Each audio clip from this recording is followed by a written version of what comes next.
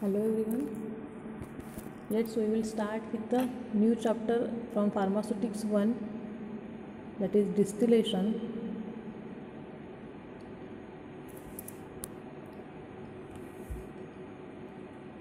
So distillation definition is distillation is an unit operation which involves the separation of a vaporizable component from a multi-component system and the subsequent condensation of the vapors. Okay. So distillation is a process which is used to separate the component substances from the liquid mixture by the selective evaporation and the condensation process. Okay. So distillation means what? It is a process in which the liquid get converts into vapor at its boiling point and then that vapors are condensed back and they are collected as a distillate okay so डिस्टिलेशनमध्ये actually काय केलं जातं? It is a process of separation of the component from the liquid mixture जे काही liquid mixture आहे त्यातून त्या liquid मिक्सचरमधले डिफरंट कंपोनंट सेपरेट आऊट करण्यासाठी आपण डिस्टिलेशन ही प्रोसेस यूज करतो. तर याच्यामध्ये ॲक्च्युली काय होतं? The liquid get boiled in a distillation flask okay जे काही लिक्विड मिक्सचर आहे ते डिस्टिलेशन फ्लास्कमध्ये बॉईल केलं जातं. When a boiling point get reaches okay ज्या वेळेला ते लिक्विडचा बॉइलिंग पॉईंट रीच होतो तेव्हा काय होतं आहे त्या लिक्विडचे वेपर्स फॉर्म होतात. आणि ते वेपर्स आपण अगेन त्याचं कंडेन्सेशन करतो. दॅट इज त्याला आपण कूल करतो ते वेपर्स आणि त्याचं कन्वर्जन पुन्हा लिक्विडमध्ये करतो. आणि त्यातले आपण जे काही अशा प्रकारे आपण लिक्विडमधले जे काही डिफरंट कंपोनंट्स आहेत ओके डिफरंट लिक्विड्स आहेत ते आपण त्यांच्या बॉइलिंग पॉईंटनुसार सेपरेट आऊट करतो. आणि जे काही आफ्टर कंडेन्सेशन आपल्याला लिक्विड मिळतं त्याला आपण डिस्टिलेट असं म्हणतो.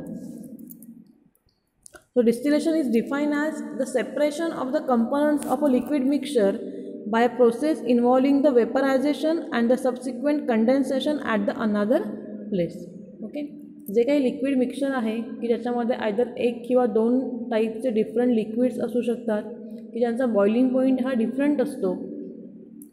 सो ज्या वेळेला आपण हे लिक्विड मिक्सर बॉईल करतो तेव्हा काय होतं? त्यातला एका लिक्विडचा जेव्हा बॉइलिंग पॉईंट येतो तेव्हा ते लिक्विड बॉईल व्हायला स्टार्ट होतं. बॉईल झाल्यानंतर त्याचे वेपर्स फॉर्म होतात. आणि ते वेपर्स पुन्हा आपण काय करतो आहे कंडेन्सेशन कंडेन्सरमध्ये पास करतो आहे आणि तिथे त्याचं कंडेन्सेशन होतं आणि वेपरचं कन्वर्जन हे लिक्विडमध्ये होतं. आणि ते लिक्विड आपण ॲज अ डिस्टिलेट म्हणून सेपरेट आऊट करतो. सो अशा प्रकारे आपण लिक्विडमधले जे काही लिक्विड मिक्सचरमधले जे काही कंपोनंट लिक्विड आहेत ते सेपरेट आऊट करू शकतो. So we will see the basic procedure for the distillation or it is a distillation assembly. So basically it has the three parts. First one is the steel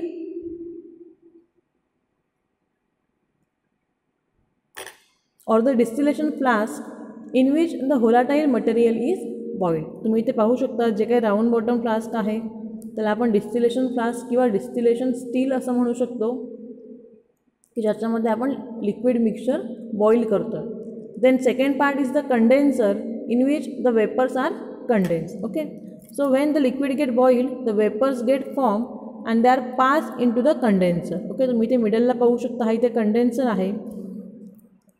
तर त्या vapours जेव्हा कंडेन्सरमध्ये येतात तेव्हा त्यांचं condensation होतं किंवा कुलिंग होतं आणि वेपर्सचं कन्वर्जन लिक्विडमध्ये होतं आणि ते आपण रिसिवरमध्ये कलेक्ट करतो ॲज अ डिस्टिलेट म्हणून.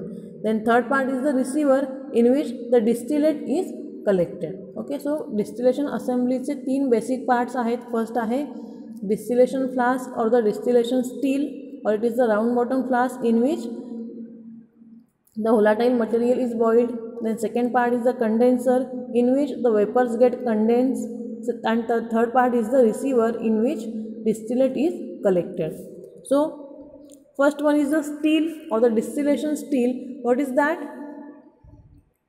it is a vaporizing chamber and used to place the material to be distilled. Okay हा एक वेपरायझिंग चेंबर आहे किंवा त्याला आपण डिस्टिलेशन पास असंही म्हणू शकतो.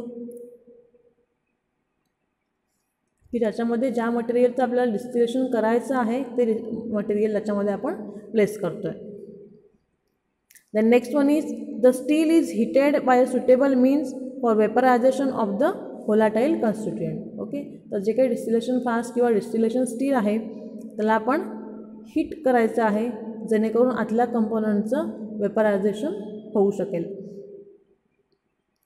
Then on laboratory scale the round bottom flask made from glass are use so that the progress of the distillation can be notice generally lab स्केलवरती आपल्याला round bottom flask which is made from glass ते use करायचं आहे. then a condenser is attach to the steel using the appropriate joints and a trap is inserted between the distillation flask and the condenser okay so again काय केलं आहे आपण इथे कंडेन्सरला डिस distillation फ्लास्कच्या side आर्मला attach केलं आहे the next one is a condenser these are used to condense the vapor okay and it is kept cooled by circulating the water or air through the jacket. इथे काय केलेलं आहे? ह्या कंडेन्सरला एक water एक jacket आहे की ज्यातून आपण कूल वॉटर सर्क्युलेट करायचं आहे जेणेकरून त्याच्या आतल्या वेपरचं कंडेन्सेशन होतं किंवा कुलिंग होतं आणि त्याचं कन्वर्जन लिक्विडमध्ये केलं जातं. ओके सो आयदर आपण एअर किंवा कोल्ड वॉटर किंवा टॅप वॉटर त्याच्या जॅकेटमधून सर्क्युलेट करायचं आहे. okay again there are different types of condenser that are single surface condenser double surface condenser and the multi-tubular condensers again single surface condenser are different types like straight tube bulb type spiral and the coil type again this condenser is connected to a receiver through a suitable adapter okay again जो काही हा condenser आहे त्याला आपण adapter attach केलेला आहे आणि again त्यातून आपण त्याला रिसिव्हरला कनेक्ट केलं. Okay so this is the basic distillation assembly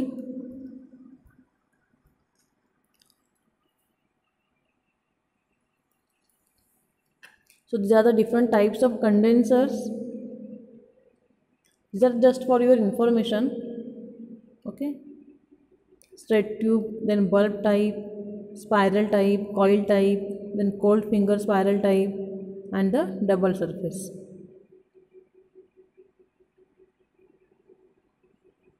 Okay तर त्याच्या जी काही इनर ट्यूब आहे त्यातून आपले वेपर पास होतात आणि त्याच्या आउटर जॅकेटमधून कोल्ड वॉटर किंवा नॉर्मल टॅप वॉटर सर्क्युलेट करायचं असतं जेणेकरून आतल्या वेपरचं कंडेन्सेशन होऊ शकतं okay and this condenser is attach in between the distillation flask and the receiver receiver and distillation flask यांच्यामध्ये आपण कंडेन्सर अटॅच करतो for the condensation of vapours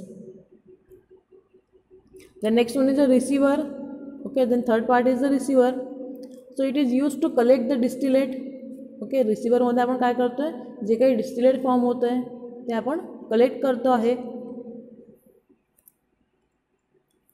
again it may be a single flask again it is immerse in ice bath to minimise the loss of volatile matter okay आपण हे receiver जे आहे ते again ice बाथमध्ये सुद्धा ठेवू शकतो जेणेकरून त्यातलं आतलं जे काही हॉट लिक्विड आहे त्याचं अगेन वेपरायझेशन होऊन त्याचा लॉस होणार नाही. ओके तर त्याचा लॉस प्रिव्हेंट करण्यासाठी आपण काय करतो आहे पुन्हा ते कूल करण्यासाठी त्याला आपण आईस बाथमध्ये सुद्धा ठेवू शकतो.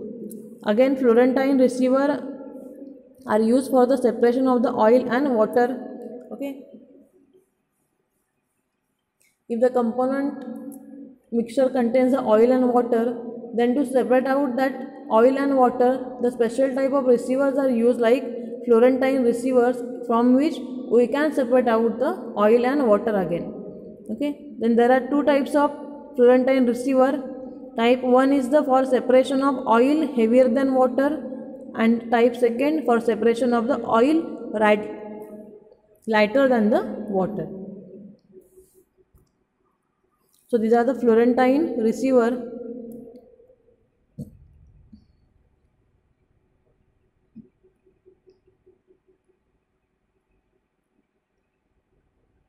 Okay तर ह्या रिसिवरमध्ये आपण ऑइल आणि वॉटर इझिली सेपरेट आऊट करू शकतो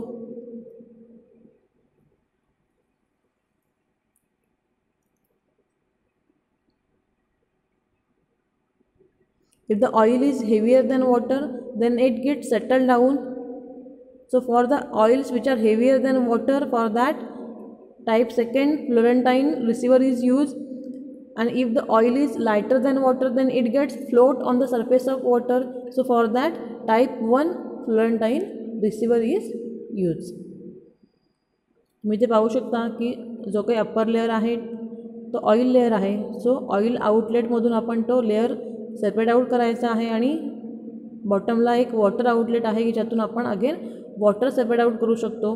सो सेकंड टाईपमध्ये जर का ऑइल वॉटरपेक्षा हेवियर असेल तर ते बॉटमला राहतं आहे आणि त्याच्यावरती वॉटर लेअर येतो आहे सो बॉटमला ऑइल आउटलेट आहे आणि अप्पर साईडला वॉटर आउटलेट आहे. Okay so these are the types of Florentine receiver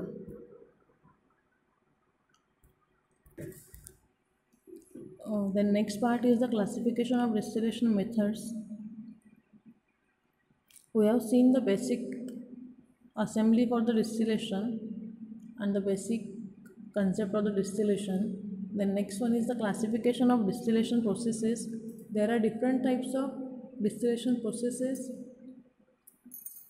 To separate out the different kinds of liquid components. So these distillation methods are the simple distillation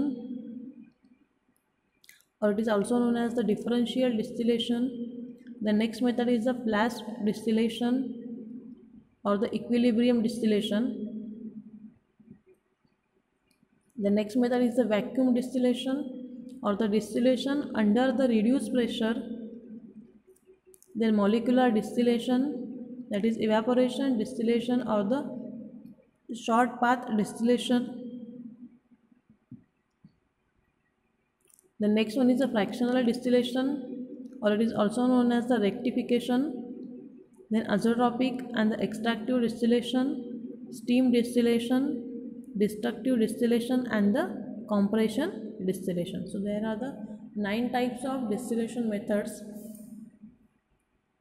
Out of that we are going to study in detail about the five distillation methods. Okay? So first method is the simple distillation method so simple distillation is the process of converting a single constituent from a liquid or a mixture into its vapor and transferring the vapor to the another place and recovering the liquid by condensing the vapor usually by allowing it to connect to come in contact with the cold surface जसं की आपण first basic distillation प्रोसेसमध्ये पाहिलं so in simple distillation, just a constituent of liquid or a liquid from a mixture is converted into its vapor okay? Then that vapors are condensed by using the condenser.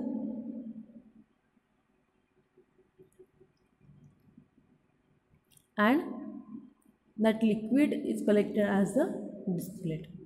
So this process is also known as the differential distillation as the distillation is based on the differences in the volatilities and the vapor pressure of the components in the mixture. Okay. So जे काही liquid mixture आहे त्या liquid मिक्सचरमधल्या प्रत्येक कंपोनंटचा boiling point हा वेगळा वेगळा आहे किंवा त्यांची व्होलाटिलिटी जी काही आहे त्यांचा ओलाटाईलनेस जो काही आहे तो डिफरंट आहे त्याच्यामुळे काय होतं आहे डिफरंट टेम्परेचरला ते लिक्विड बॉईल होत आहेत आणि त्याचं कन्वर्जन हे वेपरमध्ये होतं आहे सो ज्या लिक्विडचा बॉइलिंग पॉईंट कमी आहे ते लिक्विड आधी बॉईल होतं आहे आणि त्याचं वेपरायझेशन होऊन त्याचं कंडेन्सेशन फास्ट होतं आहे अगेन ज्या लिक्विडचा बॉइलिंग पॉईंट कमी आहे सॉरी जास्त आहे ते लिक्विड सेकंड टाईमला बॉईल होते आणि त्याचं कन्वर्जन वेपरमध्ये होऊन आपण ते ॲज अ सेकंड डिस्टिलेट म्हणून कलेक्ट करू शकतो. So generally simple distillation Is based on the differences in the boiling point or the volatilities of the components from the liquid mixer की त्यातले लिक्विड कंपोनंट जे आहेत ते आपापल्या सेपरेट बॉइलिंग पॉईंट्सना वेपराईज होतात आणखीन त्यांचं कंडेन्सेशन डिफरंट टाईम्सना होतं आहे So what is the principle of this simple distillation? Liquid boils when its vapor pressure is equal to the atmospheric pressure and the simple distillation is conducted at its boiling point. So what is the boiling point? Boiling point is the temperature at which the liquid starts boil and they starts to convert into its vapors. Okay जेव्हा boiling पॉईंटचं temperature reach होतं तेव्हा काय होतं लिक्विडचं conversion हे वेपर्समध्ये होतं सो लिक्विड केव्हा बॉईल होतात when the vapour pressure of the liquid is equal to the atmospheric pressure okay? लिक्विडच्या सरफेसवरती जे काही ॲटमॉस्फियर आहे त्याचं प्रेशर आणखीन लिक्विडच्या वेपरचं प्रेशर हे जेव्हा इक्वल होतं तेव्हा लिक्विडचं बॉईल व्हायला स्टार्ट होतात. आणि जेव्हा लिक्विड्स बॉईल होतात तेव्हा त्याचं कन्वर्जन हे वेपर्समध्ये होतं. So the higher the relative volatility of the liquid the better is the separation by the simple distillation and heat is supplied to the liquid so that it boil Again the resulting vapor is transferred to a different place and condensed. So once its boiling point get reached, the liquid starts convert into vapor and that vapors are passed into the condenser and they are condensed into the distillate and collected in the separate receiver. So this is the simple and basic principle of the simple distillation process the next one is the what is the construction of simple distillation assembly? Okay so this assembly is used for the simple distillation process. So it consists of a distillation flask with a side arm sloping downward okay? It has a distillation flask. Again that distillation flask at the upper side or at the neck has a side arm. And that side arm has the slope downwards okay आणि तो side जो आहे त्यालासुद्धा एक downward साईडला slope आहे. तुम्ही ते पाहू शकता हे राऊंड बॉटम फ्लास जे आहे त्याच्या नेकला एक साईड आर्म आहे किंवा ट्यूब आहे. आणि त्या ट्यूबचा स्लोप हा डाऊनवर्ड साईडला आहे की जे आपण अगेन कंडेन्सरला अटॅच केलेलं आहे. Then condenser is fitted into the side arm by means of cork okay त्या कॉर्कने आपण साईड आर्म कंडेन्सरला अटॅच केलेला आहे इथे. Then the condenser is usually water condenser that is jacketed for the circulation of water. Generally हा water condenser इथे आपण यूज करतो की ज्याच्या जॅकेटमधून आपण कोल्ड वॉटर सर्क्युलेट करतो आहे. मी ते पाहू शकता वॉटर इनलेट आहे आणि वॉटर आउटलेट आहे. सो वॉटर इनलेट जे आहे आपण ते टॅप वॉटरने कनेक्ट करायचं आहे की जेणेकरून आपण कंटिन्युअसली त्याच्या जॅकेटमधून टॅप वॉटर सर्क्युलेट करत राहू शकतो again the condenser is connected to a receiver flask using an adapter with a ground glass joint and on the laboratory scale the whole apparatus is made from the glass okay so you can see here again this condenser is attached to the receiver through the adapter again this adapter is made up from the glass and this total assembly that is distillation flask condenser adapter and the receiver all these are made up from the glass which are used on the laboratory scale okay so this is the simple assembly of simple distillation then what is the working actually distillation process कशा प्रकारे केली जाते first the liquid to be distilled is filled into the flask to one half to one third of its volume ज्या लिक्विडचं distillation करायचं आहे ते liquid आपण round bottom bottom फ्लास्कमध्ये प्लेस करायचं आहे. आयदर त्याच्या हाफ वॉल्यूमपर्यंत किंवा त्याच्या वन थर्ड वॉल्यूमपर्यंत आपण लिक्विड फिल करायचं आहे डिस्टिलेशन फ्लास्कमध्ये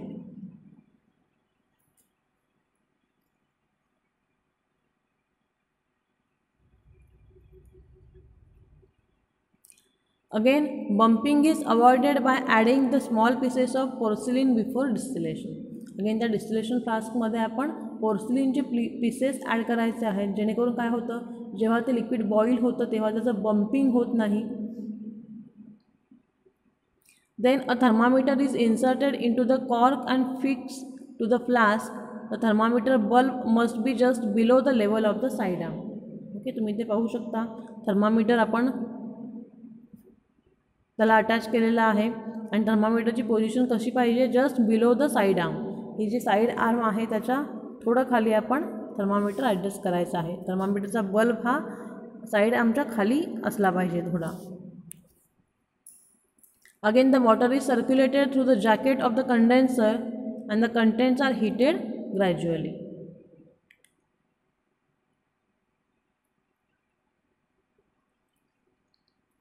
then next म्हणजे काय करायचं आहे आपल्याला? कंडेन्सरच्या जॅकेटमधून वॉटर सर्क्युलेट करायचं आहे.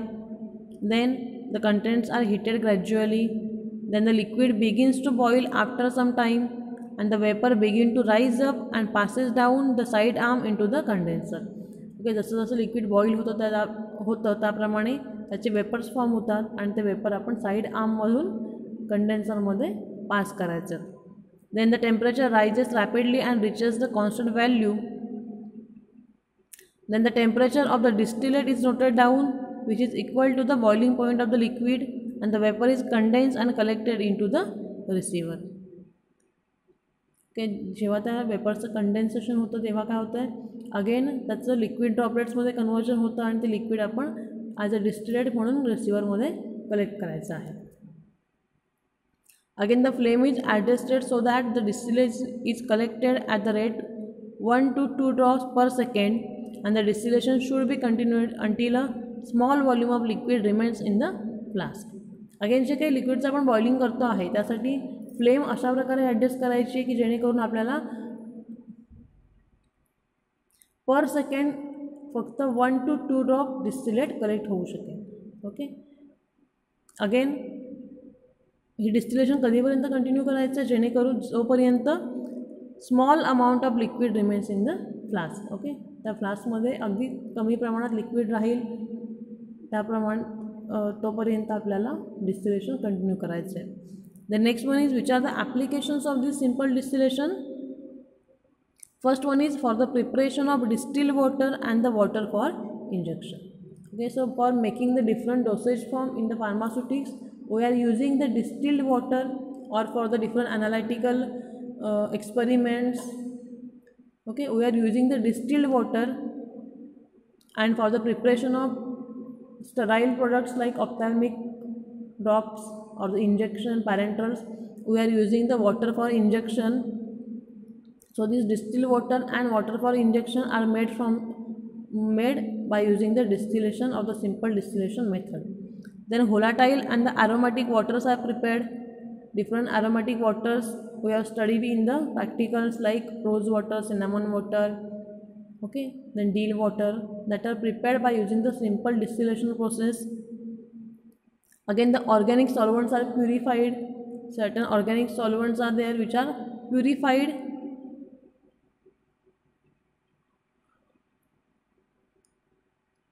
by using the simple distillation method Again, a few official compounds are prepared by distillation, for example, spirits of nitrous, ether, and the aromatic spirit of ammonia. These are the some official compounds which are prepared by using simple distillation process. Again, non, non-volatile solids are separated from the volatile solids. Okay, certain non-volatile solids which can be separated from the volatile liquids by using simple distillation methods. So when the volatile liquids get boiled, they are separated as a vapor and they are collected as the distillate. So the non-volatile solids remain behind in the distillation flask and by this way that non-volatile solids get separated from the volatile liquids. So this is about the simple distillation method.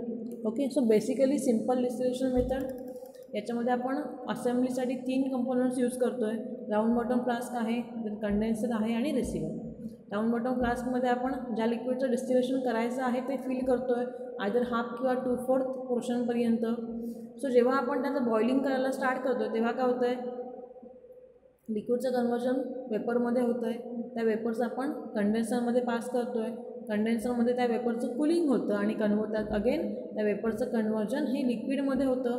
आणि ते liquid droplets आपण as a distillate म्हणून रिसिवरमध्ये collect करतो so this is a simple and basic process of simple distillation okay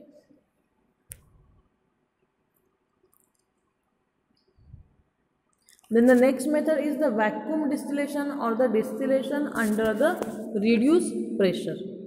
Okay, so this is the most important distillation process that is vacuum distillation or we can say it as a distillation under the reduced pressure.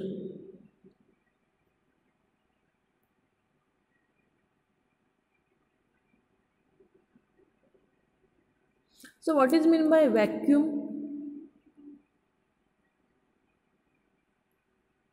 Vacuum which does not contain any air or the atmosphere okay vacuum म्हणजे काय की ज्याच्यामध्ये कोणत्याही टाईपची air present नसते किंवा जेव्हा आपण एखाद्या वेसलमधून म्हणा किंवा एखाद्या अपॅरेटस म्हणून मधून जेव्हा एअर आपण रिमूव्ह करतो किंवा एअर काढून घेतो तेव्हा आतमध्ये जी काही पोकळी तयार होते त्याला आपण काय म्हणतो? वॅक्यूम की ज्याच्यामध्ये कोणत्याही टाईपची एअर किंवा कोणतेही गॅसेस काहीही प्रेझेंट नसतं ओके जस्ट त्याला आपण काय म्हणतो? व्हॅक्यूम असं म्हणतो. ओके? कळलं का तुम्हाला व्हॅक्यूम म्हणजे काय? एखादा ॲपॅरेटस आहे की ज्यातून आपण सक्शन म पंप म्हणा किंवा इतर क कशाच्याही साह्याने पंपच्या साह्याने जेव्हा त्यातली एअर आपण रिमूव्ह करून घेतो तेव्हा त्या पूर्ण ॲपॅरेटसमध्ये काहीही शिल्लक राहत नाही कोणत्याही टाईपचे गॅसेस एअर काहीही प्रेझेंट नसतं. त्याला आपण काय म्हणतो? व्हॅक्यूम असं म्हणतो.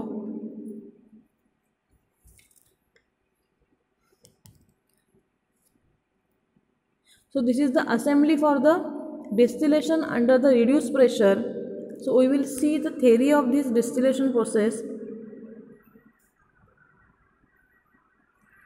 So the distillation process in which the liquid is distilled at a temperature lower than the boiling point by application of vacuum. The vacuum pumps or the suction pump etc.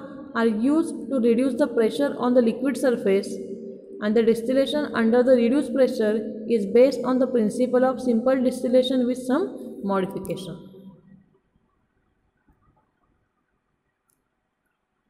Okay so what is the principle of this vacuum distillation तुम्ही पाहिलं की vacuum म्हणजे काय? जेव्हा आपण एखाद्या अपॅरेटसमधून suction pump किंवा व्हॅक्यूम पंपच्या सहाय्याने पूर्ण एअर रिमूव्ह करतो आहे तर तिथे जे काही पोकळी निर्माण होते त्याला आपण व्हॅक्यूम असं म्हणतो. So what is the relation between the application of vacuum and the reduction of boiling point? Vacuum apply केल्यामुळे boiling point कशा प्रकारे reduce केला जातो The liquid boils when vapor pressure is equal to the atmospheric pressure.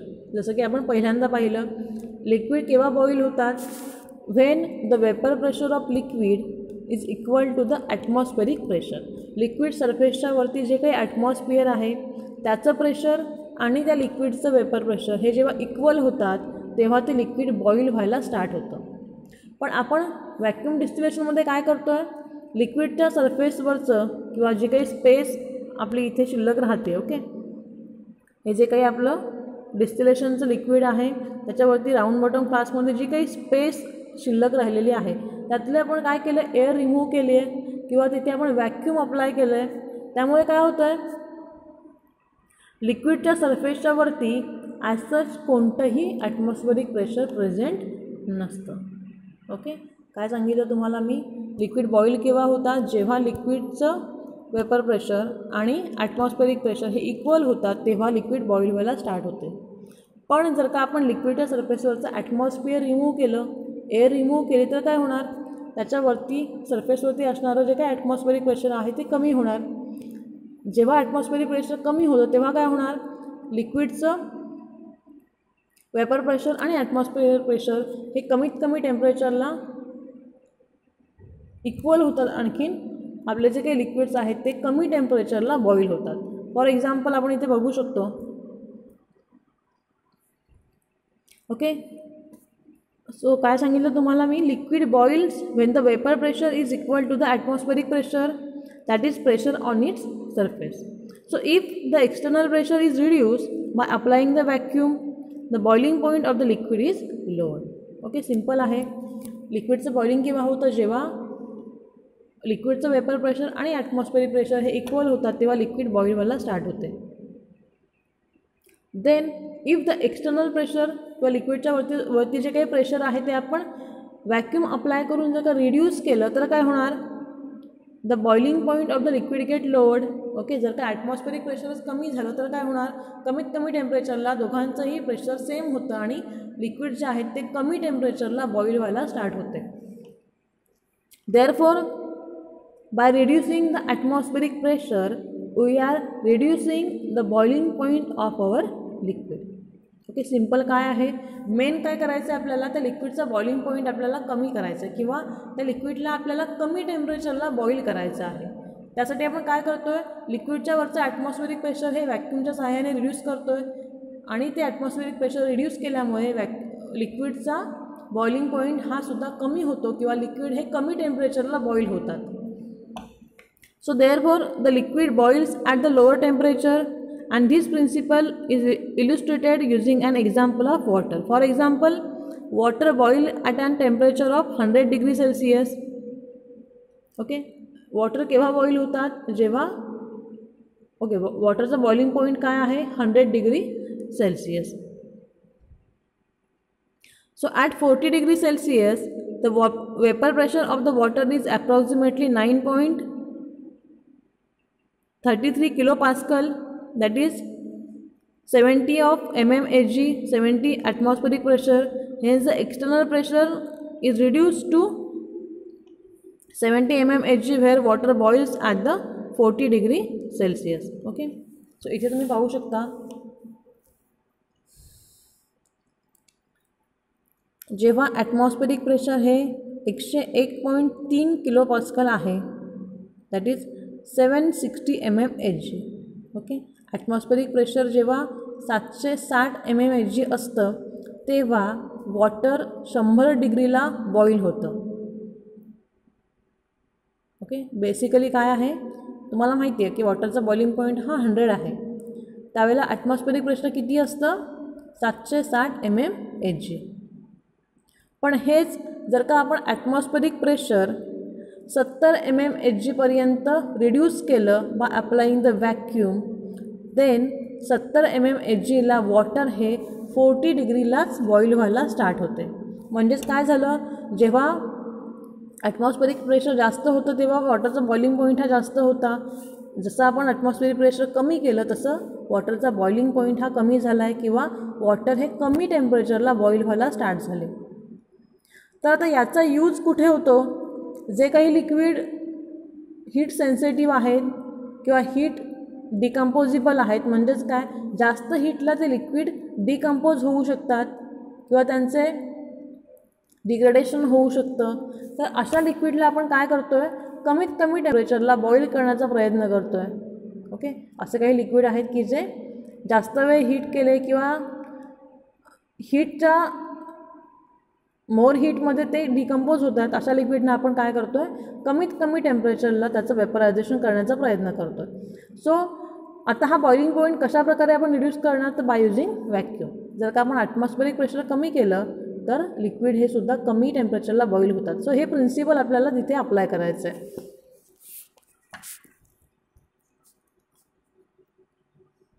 so next one is what is the assembly of this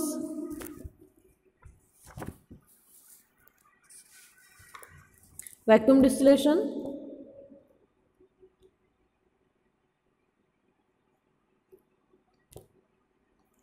it consists of a double neck distillation flask known as the Claisen flask. Okay जे काही distillation flask आहे ते थोडं different आहे बघा. त्याला double neck आहे. Okay तुम्ही इथे पाहू शकता की डबल नेक डिस्टिलेशन फ्लास्क आहे. त्याच्या वरच्या साईडला दोन नेक आहेत त्याला. So this flask is known as Claisen flask okay? Then in one of its neck the thermometer is fitted. त्याच्या एका नेकमध्ये आपण थर्मामीटर फिट केलेलं आहे. And in the second neck a capillary tube is fitted which prevents the bumping of the heated liquid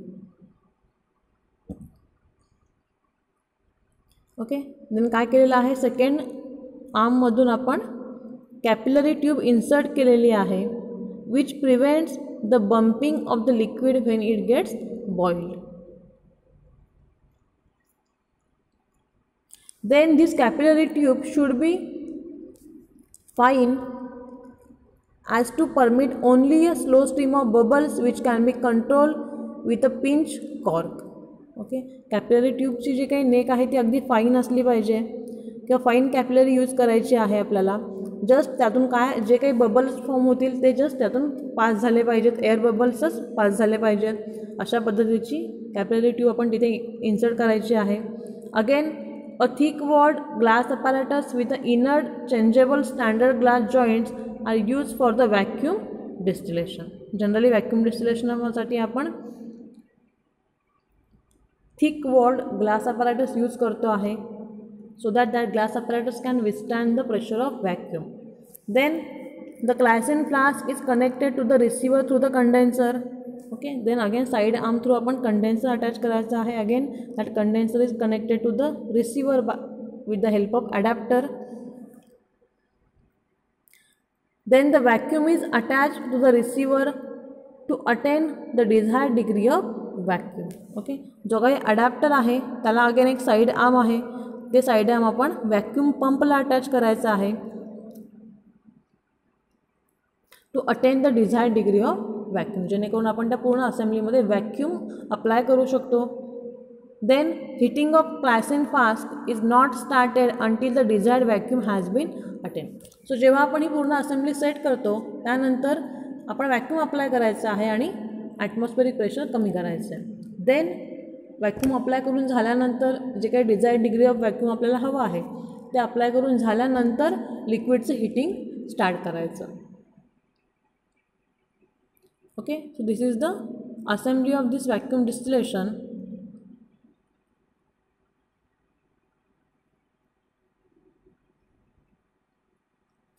The next one is procedure is same. When the boiling point gets reaches, liquid get converted, into vapor and that vapors are condensed back into the liquid and collected in the receiver as the distillate. Then next one is the application.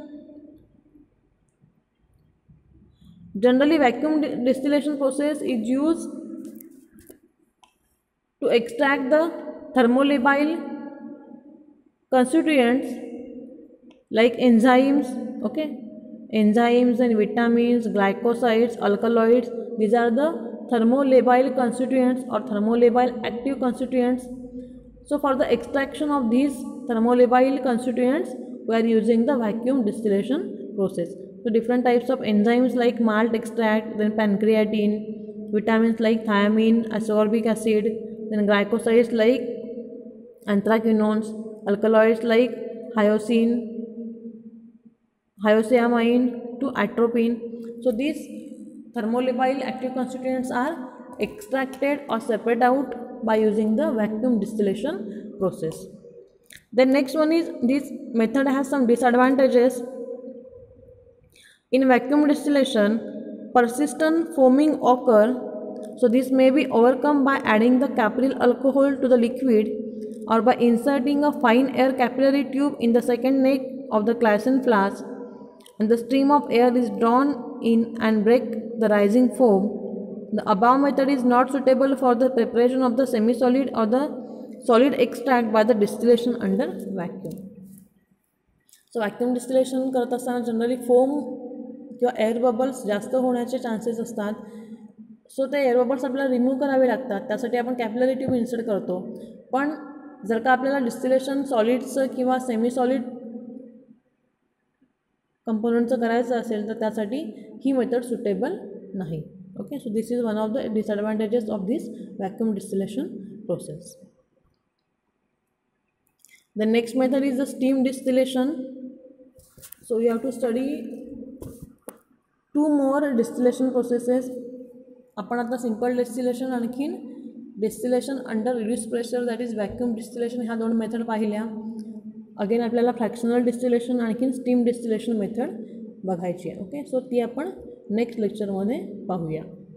So now we will stop here so for any query you can ask me and thank you for your attention okay so thank you